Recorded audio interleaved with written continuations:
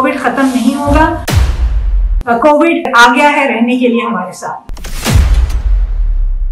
Liaquat university hospital, Hyderabad और जामशोरो हर सहूलत के लिहाज से अपने हर डिपार्टमेंट को उस लेवल का मैारी बनाया है। इसके लिए यहाँ विज़िट करने वाले बहुत सारे इदारों ने ये तबसरा किया है कि लियाकत यूनिवर्सिटी हॉस्पिटल किसी प्राइवेट हॉस्पिटल से कम नहीं। लियाकत यूनिवर्सिटी हॉस्पिटल ने अपनी सर्विसेज़ को कोविड के दिनों में भी बहुत अहसन तरीके से निभाया। सिटी ब्रांच में 18 बेडेड आईसीयू और 18 बेडेड एचडीयू कोविड की सर्विसेज़ 24 आवर्स दिया करता था और मजीद पेशेंट्स के बढ़ने के बाद जामशोरों में भी तकरीबन 106 बेड के एचडीयू और आईसीयू स्टेब्लिश किए गए थे। मरीजों को महँगी से महँगी दवाइयाँ जो भी डॉक्टर एडवाइस करते थे, वो दी जाती थी और हर investigation free of cost hospital की तरफ़ से मिलती थी। और उनकी डाइट का भी बेहतरीन इंतज़ाम किया गया था। यही सबब था कि रिकवरी का ज़्यादा से ज़्यादा रेशो लियाकत यूनिवर्सिटी हॉस्पिटल का था।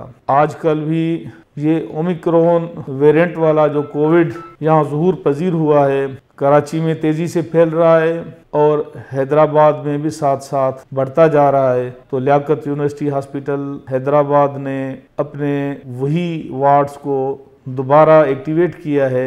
हमने इक्विपमेंट की सर्विस करा के इंस्टॉल कर दिए हैं। Ventilators high flow nasal devices और suction machines central oxygen central monitoring सारे इक्विपमेंट को हमने सर्विस करके दोबारा इंस्टॉल कर दिया है। अगर इस शहर से या गिरदनवा से या दूर दराज इलाकों से किसी भी पेशेंट को इलाज की ज़रूरत होगी तो इनशाला हमारा ये हॉस्पिटल पहले की तरह, बल्कि पहले से भी ज़्यादा सर्विस पेश करने में पेश पेश रहेगा। अवामनास को अपील की जाती है कि इसी कोविड से बचने के लिए जो हमेशा सोशल मीडिया पे, प्रिंट मीडिया से, इलेक्ट्रॉनिक मीडिया से जो तलकीन की जाती है, हाथों को सैनिटाइजर से साफ़ रखें, मास्क का इस्तेमाल करें और भीड़ और ज़्यादा हजूम वाली जगहों में जाने से इज्तनाब करें, सोशल डिस्टेंस मेंटेन करें ताकि खुद को, अपने बच्चों को और अपने दोस्तों को इस बीमारी का शिकार होने से बचाया जा सके। जिसने वैक्सीनेशन नहीं करवाई, वो फौरी तौर पर जाकर वैक्सीनेशन करवाएँ और जिसने वैक्सीनेशन करवाई है